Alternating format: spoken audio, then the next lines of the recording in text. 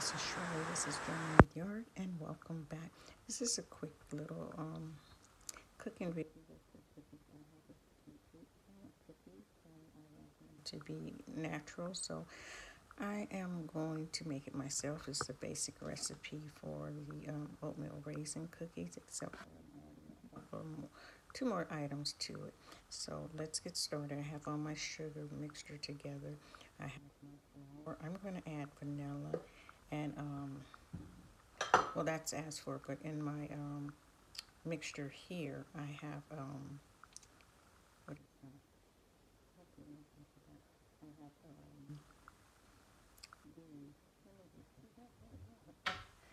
I have um, nutmeg in it, along with the cinnamon to my taste, not to, not according to the thing. And I'm going to add just a little bit of sour cream in my egg mixture. So let's get started. Listen to my own, sorry for the shower, my own advice. It's better if you use the Bob uh, egg replacement in a flat bowl, you know, because it's a lot easier to get the, um, the lumps out of it.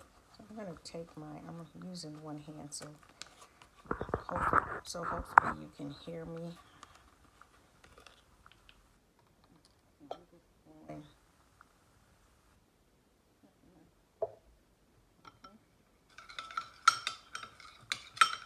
Then i add a little bit of sour cream here. I have light sour cream. I thought I'd give it a try. Let's see how it come out. Last time I had the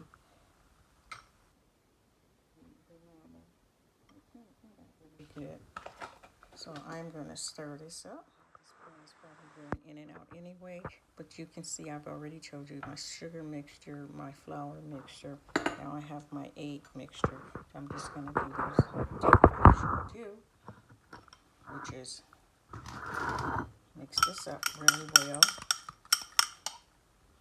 Okay, and then we're going to have the oven on 350. We beat that up. In a large bowl, we're going to put the sugar and the our sugar mixture here. Got my sugar mixture right here.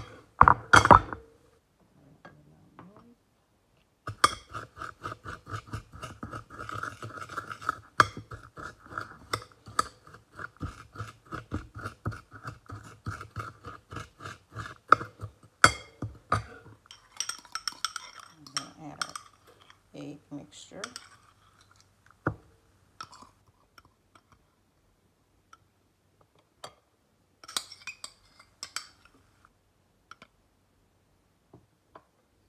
That up.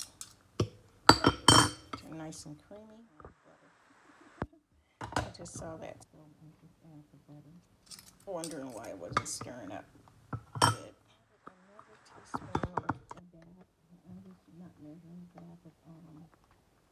Sour cream like that because it's still sounding hmm, if you can hear, I don't know. I'm sorry, you guys.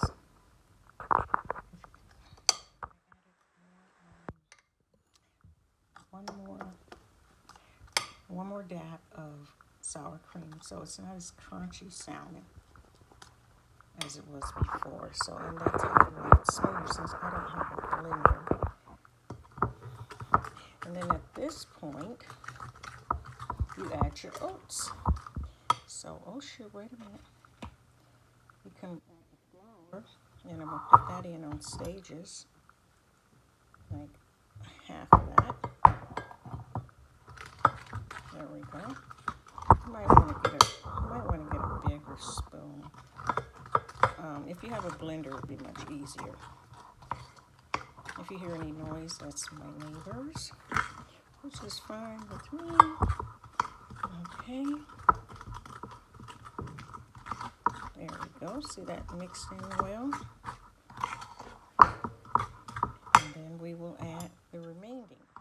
Uh, using my big spoon now. And at this point, you might want to a larger spoon if you don't have a um, a blender.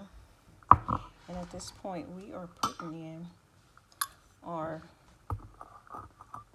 one and a half cups, uh, acre, acre. Give me some land. One and a half cups, one and a half cup of oat, no, no, no. Yeah, because it calls for three. And this is for me, so I don't need that many, that many cookies, because I will just sit there and go back and forth and eat them. So, um, I have too much. Okay, there we go. And do the same thing. At this point.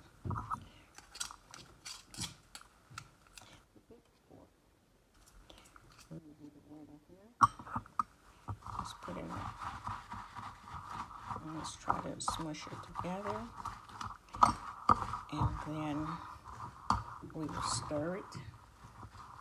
We want it to get in there to incorporate it all in there before we put the part, second part in.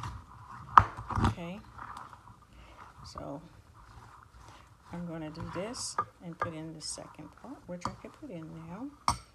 You can see it's a little bit, it's a lot, but I want to get it in there good. Oops. Try not to make a mess. Otherwise, if you do, you just clean it up like I'm doing. I'm pretty sure you can't hear me. I'll probably just put some music over this.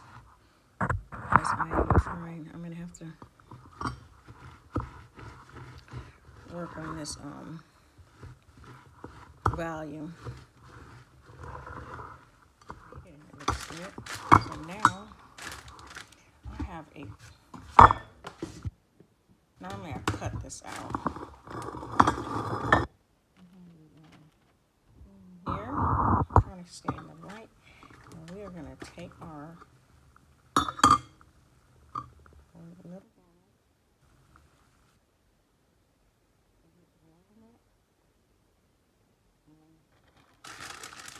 like that. Welcome back. Put five in here, and I you know, every oven is different. I think the instructions is 54, 30 to 35 minutes, okay? I noticed that mine's take about 30 minutes. I'm to pop this in the oven here and show you what it looks like. Hopefully it looks okay. And when we come back, I'm holding this so hopefully you can hear me better.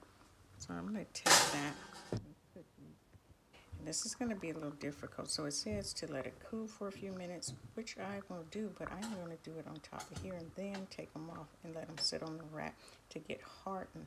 So basically, I don't tear it up. You with me? You with me? You with me? Sit them like that. Use your pan, and I'm going to put in the other batch. Put these in the oven. So we're going to um, take these off and see if we need to. See, I don't want to crack them. They need to be on the rack. So let them cool now.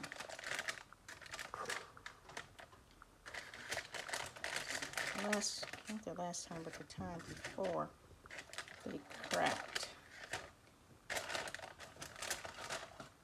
Okay, I'll let those cool. Look like that. And I, you know, if you don't have a rack, take your, um, can, what do you call that? The toaster oven. Take that part, and this part is the bottom part of it. Put the foil on it, and use that rack. You don't have to go and buy something special to do this. You can if you want to, though. I see cookie crumbling. That?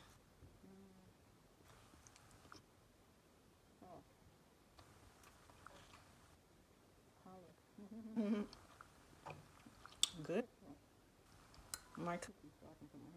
So, don't trip. I'll put these in the oven.